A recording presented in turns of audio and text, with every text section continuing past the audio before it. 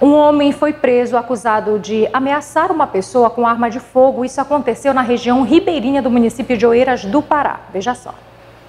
A Polícia Civil, por meio da Delegacia de Oeiras do Pará, tomou conhecimento através de um boletim de ocorrência na comunidade ribeirinha Rio Sacajós, zona rural de Oeiras, de uma situação envolvendo delito de ameaça.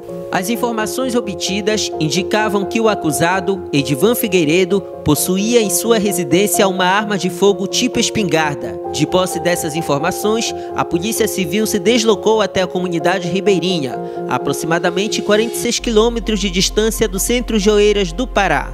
Ao chegar no local, a Polícia Civil realizou buscas nos imóveis, logrando êxito em localizar o armamento. Em seguida, a Polícia Civil conduziu o suspeito e apresentou na unidade policial para os procedimentos legais e cabíveis.